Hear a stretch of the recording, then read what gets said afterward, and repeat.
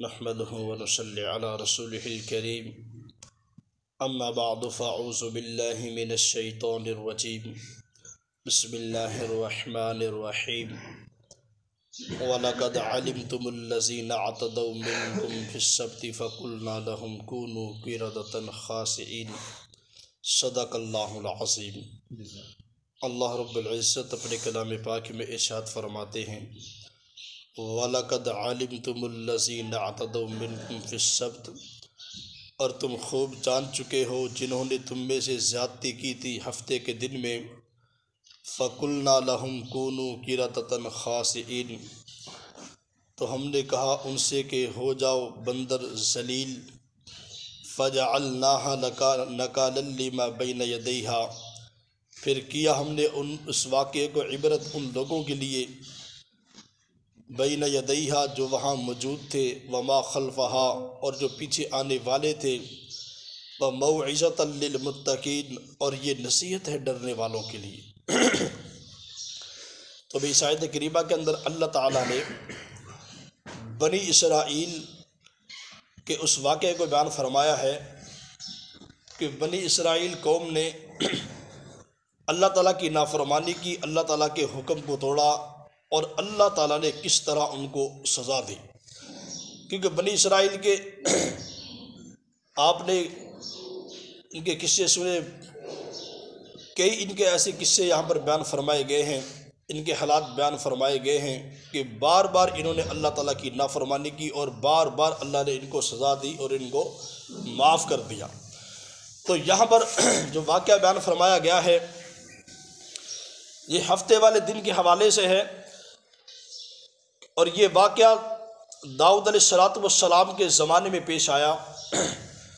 کیونکہ داؤد علیہ السلاۃ والسلام کے زمانے میں ان کی شریعت کے اندر ہفتے کا دن، یہ معظم دن تھا، عبادت کا دن تھا کہ اس دن میں خاص وہ عبادت کیا کرتے تھے۔ اور جس علاقے میں داؤد علیہ السلاۃ والسلام رہتے تھے، ان کے دو گروہ تھے۔ ایک گروہ تو علماء، صلحاء، نیک لوگوں کا اور ایک گروہ نافرمانوں کا۔ جو یہ نافرمان لوگ تھے، یہ شکار کرنے والے اور ماہی گیر مچھلی پکڑنے والے، یہ سمندر کنارے رہتے تھے۔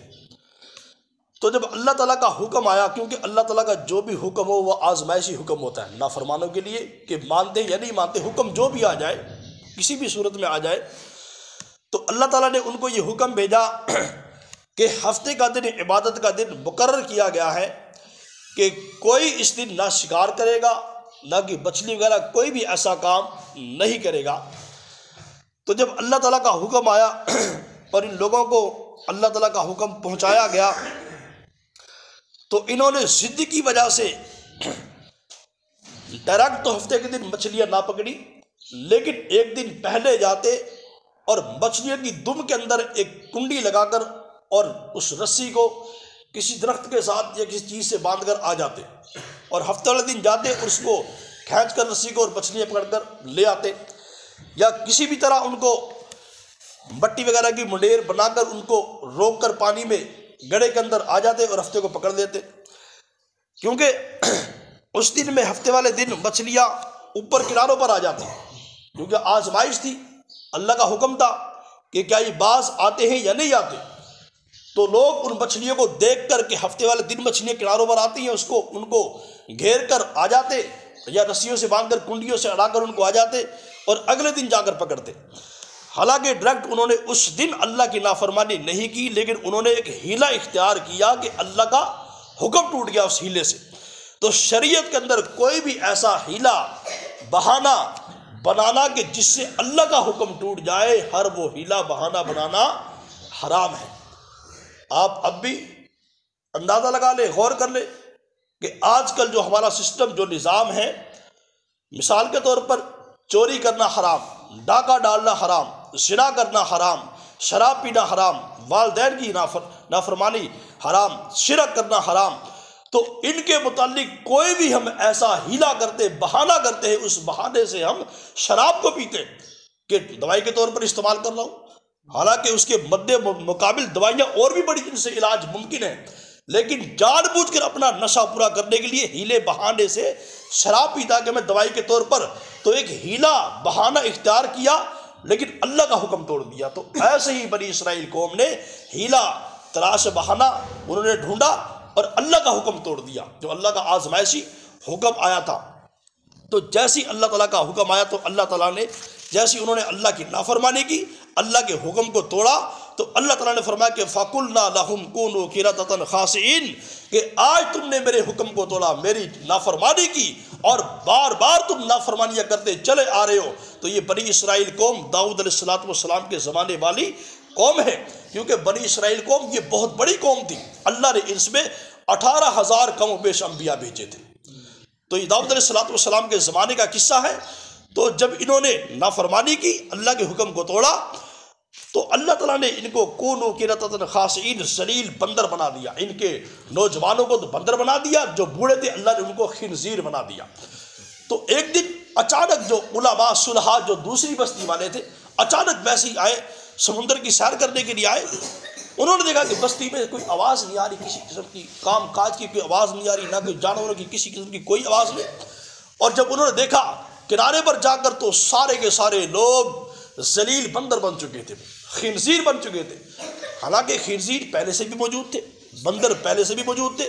اب یہ بات کہنا کہ بھئی، یہ تو اسی زمانے کے بندر، اسی زمانے کے خنزیر ہیں، یہ بات غلط ہے۔ کیونکہ یہاں پر ایک مسئلہ میار فرمایا فکہ نے کہ جب بھی سابقہ قوم پر اللہ نے عذاب بھیجے، تو وہ سابقہ قوم تین دن کے اندر ہلاک کر دی گئی۔ یہ جو بندر بنے تھے، خنزیر بنے تھے، تین دن بعد سارے کے سارے اللہ نے ہلاک کر دیے تھے۔ اور اللہ تعالیٰ فرماتے ہیں کہ یہی پر بات ختم نہیں، کہ ان کو خنزیر، بندر، اللہ نے ذلیل بندر بنا دیا، اللہ نے ان کی شکلیں مسا کر دی، اللہ نے شکلیں بدل دی، ایک حکم توڑنے کی وجہ سے۔ اور آج ہم غور کریں کہ ہم کتنے اللہ کے حکم توڑتے ہیں۔ بڑی اسرائیل نے ایک اللہ کے حکم کو توڑا، صرف مچھلیاں نہ پکڑنا، کوئی خاص بات بھی نہیں تھی، لیکن حکم اللہ کا تھا۔ تو بھائی ہم غور کریں کہ آج ہم کتنے اللہ کے حکم توڑ رہے ہیں، کتنی اللہ کی نافرمانیاں کر رہے ہیں، اور ہم اس سزا سے بھی بڑی سزا کے مستحق بن چکے ہیں۔ لیکن پتہ نہیں کون سی بات ہے کہ آج ہم پر عمومی عذاب نہیں آتا، اللہ کا رحم و کرم ہے۔ لیکن اللہ تعالیٰ فرماتے ہیں کہ فجا اللہ نکال البا بین یدیہا کہ یاد رکھو کہ ہم نے اس واقعے کو موجودہ لوگوں کے لیے بھی نصیحت بنایا کہ جو لوگ وہاں پر موجود تھے جو پہلے سے نیکوکار علماء صلحات ہیں ان کے لیے نصیحت بنا کہ تاکہ یہ ایمان پر ثابت قدم رہے۔ تاکہ ایمان پر ثابت قدم رہے۔ اور جو نافرمان تھے، جو بچ گئے، ان کے لیے بھی نصیحت بنایا کہ وہ فوراً انہوں نے توبہ کر لی اور وہ داؤد علیہ السلام کی شریعت میں داخل ہو گئے۔ اور اللہ تعالیٰ فرماتے کہ وما خلفہا اور جو لوگ ان کے بعد قیامت تک آئیں گے، ہر آنے والے کے لیے ہم نے اس واقعے کو عبرت اور نصیحت بنایا۔ تو اللہ نے ایسی قرآن پاک میں یہ قصے، یہ حقائق، یہ واقعات بیان نہیں کیے۔ یہ ہماری عبرت کے لیے ہیں، یہ ہماری نصیحت کے لیے ہیں۔ ہم یہ بات اپنے ذہن میں، دل و دماغ میں رکھے کہیں ایسا نہ ہو کہ اللہ کی نافرمانیاں کرنے کی وجہ سے ہم بھی کسی بڑے عذاب میں مبتلا نہ ہو جائیں۔ یہ اگرچہ عذاب ہم پر آتے لیکن سمجھتے نہیں ہم۔ ہم غور کر لیں، ہمارے معاشرے کے اندر بے حیائی عام ہے نا انصافی عام ہے، زنا عام ہے، قتل و غار، لڑائی، جھگڑے، فطرے، فساد عام ہیں۔ تو ہم کہتے کہ ہم پر عذاب نہیں آ رہا۔ بھائی غور تو کرے کہ کون سا بندہ خوشحال ہے آج کے دور میں؟ ہر بندہ پریشان ہے، ہر گھر میں فطرے ہیں، ہر گھر میں فساد ہیں۔ اور آج ملک پاکستان کی صورتحال دیکھ لیں آپ۔ یہ عذاب نہیں، اس سے بڑا عذاب کیا ہوگا؟ ایک کہت کی شکل بنی ہوئی ہے۔ اتنی مہنگائی عروج پر کہ ہر بندہ پریشان ہے۔ یہ کہت کی صورت، یہ عذاب نہیں تو اور کیا ہے؟ اس سے بڑا کیا عذاب ہوگا؟ ایسے ہی عذاب آتے ہیں، ہم سمجھتے نہیں۔ عذاب ایسے ہی آتے ہیں۔ اور جب اللہ تعالیٰ صفایا کرتا، پھر ہمیں سمجھا دی کہ یہ کیا بن گیا۔ یہ اللہ اپنے اثار دکھاتا ہے، عذاب کی شکلیں دکھاتا ہے کہ تاکہ یہ قوم، یہ نافرمان لوگ سمجھ جائیں۔ اور جب یہ حد کو کراس کر دیتے، سمجھتے نہیں، تو پھر اللہ کی بڑی پکڑ آتی کہتے ہیں کہ اللہ کی لاٹھی بے آواز ہے۔ اللہ کی لاٹھی بے آواز، جب پکڑ اس کی آ جاتی ہے پھر اس سے بچے نہیں پاتا۔ تو اللہ تعالیٰ فرماتے ہیں کہ وہ بو عزت للمتقین کہ یہ واقعہ نصیحت ہے کن لوگوں کے لیے؟ للمتقین جو اللہ سے ڈرنے والے، ان کے لیے۔ تو نہیں ڈرتے، ان کو پرواہی کوئی نہیں۔ ان کو تو اللہ ایک بار پکڑے گا۔ اور جو ڈرتے ہیں، ان کے لیے نصیحت ہے۔ تو بھی ہمیں چاہیے ان واقعات کو پڑھ کر، سمجھے، حقائق کو دیکھیں اور اللہ سے توبہ کریں۔ اللہ سے ڈریں کہ ایسی پکڑ، ایسے آداب ہم پر بھی نہ آ جائے تو کل کے درس میں انشاءاللہ بقیہ بات کریں گے۔ اللہ تعالیٰ کی بارگاہ میں دعا ہے کہ جو کچھ بڑا سنا کا اللہ پاک اس کو قبول و منظور فرمائے اور اس پر عمل کرنے کی توفیق عطا فرمائے اور اللہ تعالیٰ ہمیں اپنی ہر قسم کی نافرمانی سے ہمیں محفوظ فرمائے اور جتنی بھی برائیاں ہیں، یہ شرک، بدعات، بے حیائی، زنا، چوری، ڈاکہ، ناانصافی اور والدین کی نافرمانی، جتنی بھی سود، جتنی بھی ایسی چیزیں اللہ تعالیٰ ان تمام لانتوں سے ہماری حفاظت فرمائے اور اپنے احکامات کے مطابق، اپنے محبوب کی شریعت کے مطابق، طریقوں کے مطابق، سنت کے مطابق ہمیں اپنی زندگی گزارنے کی توفیق عطا فرمائے۔ وآخر دعوانا ان الحمد للہ رب العالمین۔ الحمد للہ رب العالمین، العاقبۃ للمتقین، والصلاة والسلام على رسوله الكريم ربنا آتنا في الدنيا حسنة وفي الآخرة حسنة وقنا عذاب النار.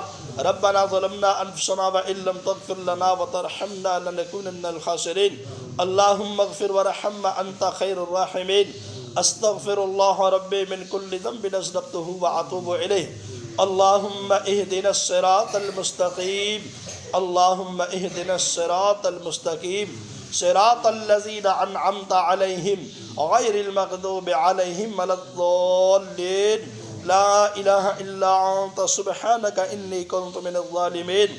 وافوض امری الى اللہ ان اللہ بصیر بالعباد۔ ربنا تقبل منا انك انت السميع العليم وتب علينا انك انت التواب الرحيم وصلى اللہ تعالی علی رسول خیر خلقه محمد وعلى آله وأصحابه اجمعین آمین